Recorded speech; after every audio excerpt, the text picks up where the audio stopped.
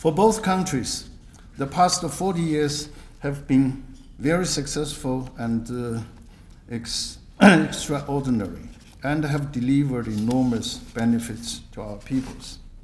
The bilateral trade volume, uh, trade volume is very big. It's 1.8 billion US dollars per day.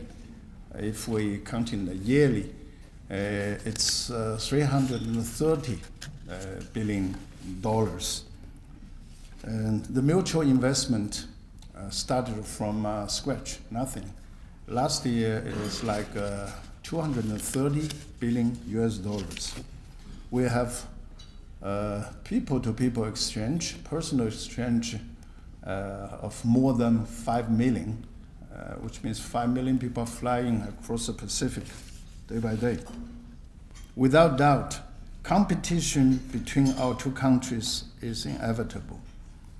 This is normal in international relations, but exaggerating our competition out of all proportion will squeeze the space of cooperation.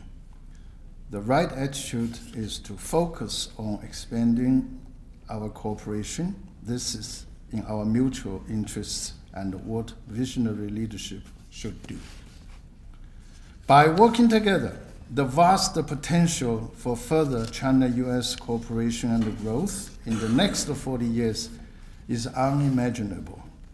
In the 21st century, we are increasingly interconnected by the rapid growth of globalization. The interests of China and the US are highly intertwined.